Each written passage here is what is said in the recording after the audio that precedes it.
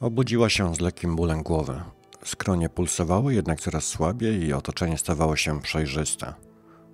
Leżała na łóżku w pokoju, który przypominał hotelowy apartament. Duży materac, sofa, dwa fotele, stolik i uchylone drzwi do toalety.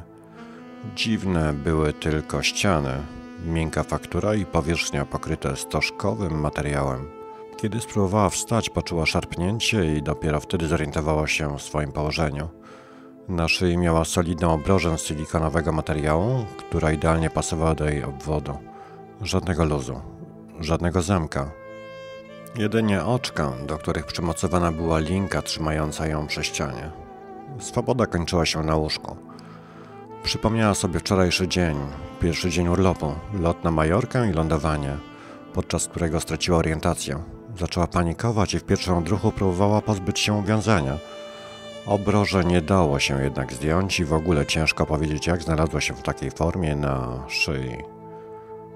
W tym momencie drzwi do pokoju otworzyły się i weszło do niego trzech mężczyzn. Była przerażona całą sytuacją, zamarła i patrzyła z niedowierzaniem.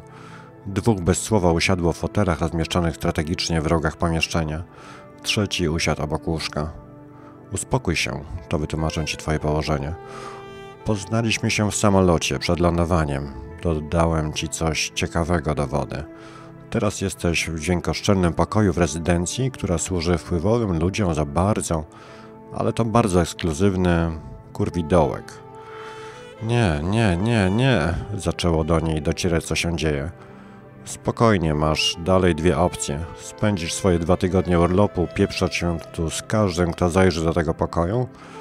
Faceci poza mną będą mieli kominiarki, poznasz ich dogłębnie, uśmiechnął się, ale nie poznasz ich tożsamości. Dzięki temu po dwóch tygodniach wrócisz cała i zdrowa do domu. Zostanie ci po tym wspomnieniu kilka siniaków i sto tysięcy. Rozumiesz? Aneta kręciła głową, dalej mamrocząc coś pod nosem wyrazy niedowierzania. Mężczyzna gwałtownie wstał w jej kierunku i uderzył ją dłonią w twarz. Zaniosła się płaczem, ale jednocześnie próbowała się uspokoić. Obudź się i nadążaj. Druga opcja. Nie będzie przyjemna i skończy się tym, że nigdy nie wrócisz do domu. Rozumiesz? Kiwaj głową. Wykonała kilka płytkich, szybkich ruchów podbródkiem. Mężczyzna uśmiechnął się, widząc pierwsze oznaki pogodzenia się z sytuacją. To nie pierwsza dziewczyna, którą złamał w tym pokoju. Po ostatniej przygodzie trzeba było wymienić dywan. W tym przypadku powinna pójść gładko. W jej oczach było widać poddanie. Dobrze. Jak wyjdziemy, dostaniesz tu śniadanie i swoją torbę. Uspokoisz się i wytłumaczysz sobie, że lepiej wyjść stąd za dwa tygodnie z konkretną kasą i grubym zboczeniem, niż nie wyjść w ogóle. Na początku będziemy się pieprzyć sami. Pokażę ci, czego będą oczekiwać goście. Jedno musi być jasne. Z twojego słownika znika nie. Wszyscy będą tu zdrowi. Ty zabezpieczona? Spust w paszczy przyjmiesz tak samo jak w dupie. Nie musi być z uśmiechem. Byle było. Pełne oddanie. Kapisz?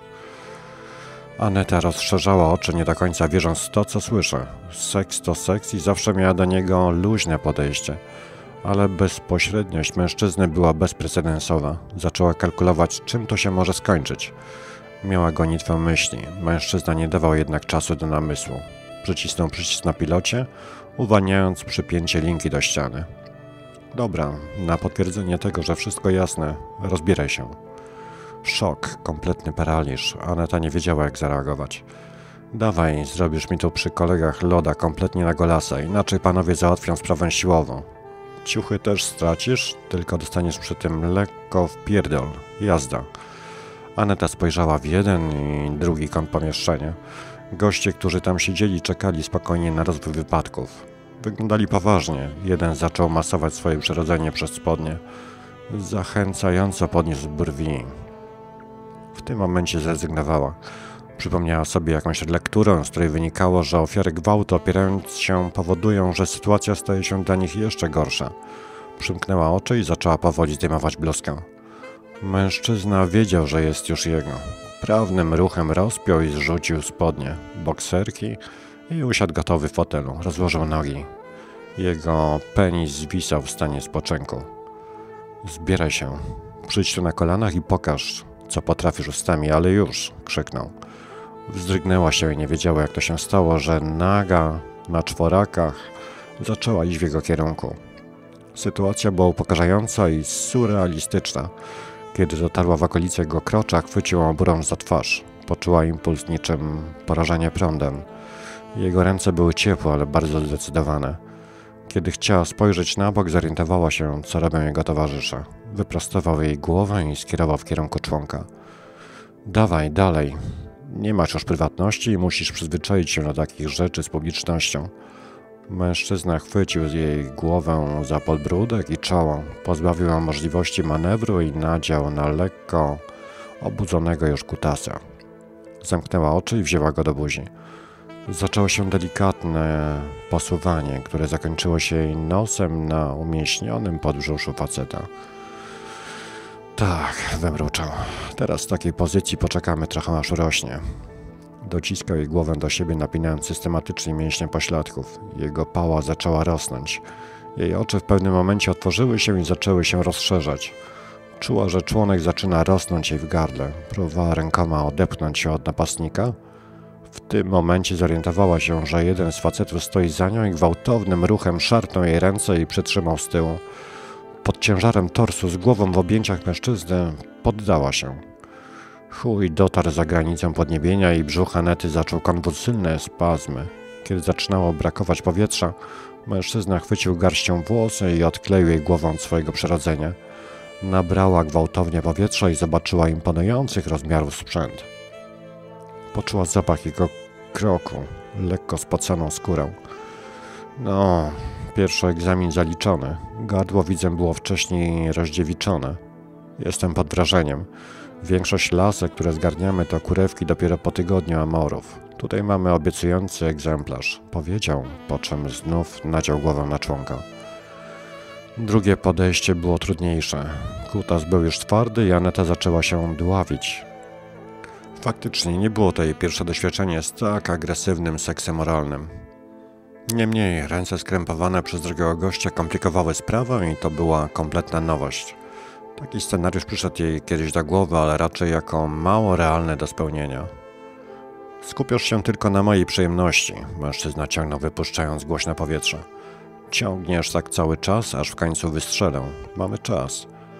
Aneta przestała myśleć, tylko rytmicznymi ruchami robiła loda facetowi, który używał jej głowy do masturbacji. Takiej akcji jeszcze nie przerabiała. Tempo było zmienne, głębokość ruchów również. Facet bardzo umiejętnie balansował na granicach jej możliwości. Wchodził w gardło w dokładnie skalkulowanych momentach, kiedy przychodziło lekkie odprężenie. Nie zawsze się udawało i Aneta miała już łzy w oczach. Starała się pracować nieco językiem, ściskać wargami jego główkę. Liczyła na szybszy koniec. Straciła rachubę czasu i nie wiedziała, że takie rżnięcie trwało już 20 minut. 20 minut wchodzenia w jej gardło z oporem, który paradoksalnie robił się coraz większy. Mężczyzna przerwał. Ścisnął jej szczęką po bokach, wymuszając otwarcie ust.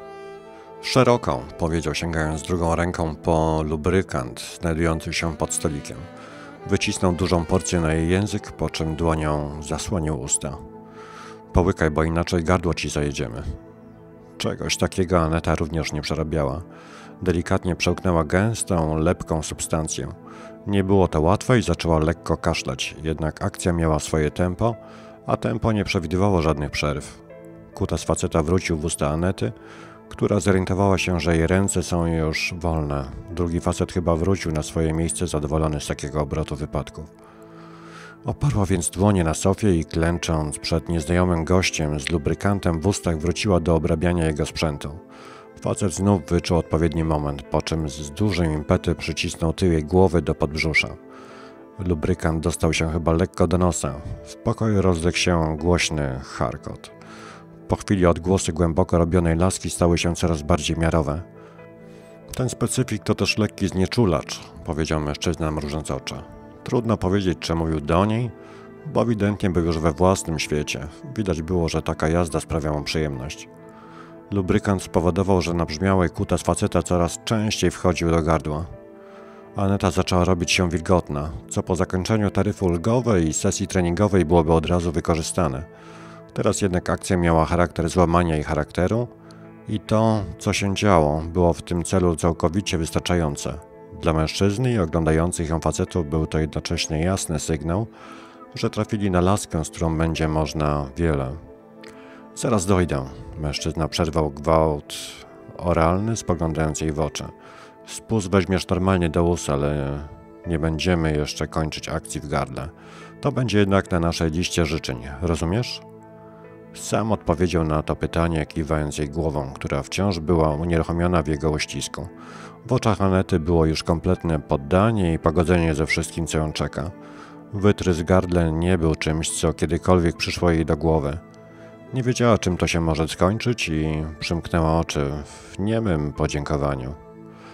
Po kolejnych kilku minutach ruchy faceta zrobiły się płytsze, po czym bez żadnego ostrzeżenia, bez żadnego uprzedzenia, ani prawdę mówiąc bez wcześniejszej reakcji, jego sperma zaczęła wypełniać usta Anety. Nie połykała jej, usta póki co szczelnie obejmowały pulsującą główkę.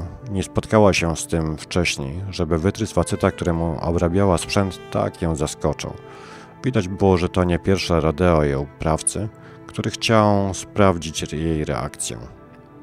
Teraz wszystko połkniesz, powiedział, po czym puścił jej głowę. Odkleiła się od jego członka i z twarzą zmęczoną półgodzinnym, ostrym seksem oralnym bez trzymanki spojrzała na faceta. Patrząc mu w oczy, połknęła ładunek spermy, która w smaku była całkiem w porządku. Gość dbał o siebie, był dobrze nawodniony i ze zdziwieniem zreflektowała się, że jego sperma była przyjemniejsza w smaku niż jej ostatnich chłopaków. Połknięcie jego spermy w tak uległej pozycji, patrząc w oczy do tego w zasadzie już dobrowolnie, oznaczała pełną akceptację nowej sytuacji. Mężczyzna uśmiechnął się lekko, ubrał spodnie i wraz ze swoimi towarzyszami skierował się w kierunku drzwi. Tak jak obiecałem, to wstęp, powiedział dopinając pasek. Dzięki za serwis. Fajnie, że panowie nie byli potrzebni. Postaramy się, żeby tak było dalej. Ogarnij się tutaj. Zajrzę po południu i wtedy porozmawiamy na spokojnie. Drzwi zamknęły się i Aneta zorientowała się, że nadal klęczy na poduszce przed sofą, na której siedział mężczyzna. Nawet nie zorientowała się, kiedy ktoś tam poduszkę podłożył.